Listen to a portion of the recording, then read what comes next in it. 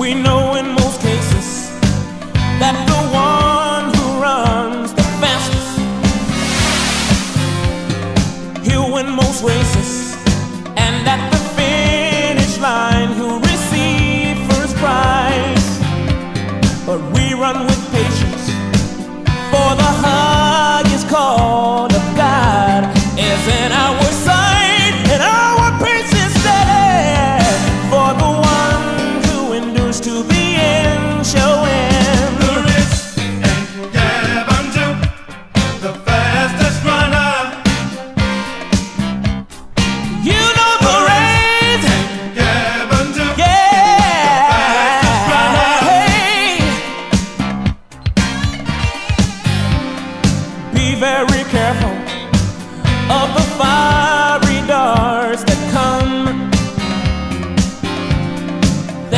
hurdle that can block you when you run.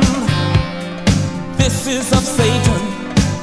He just wants to keep your soul in sin, but you just keep on.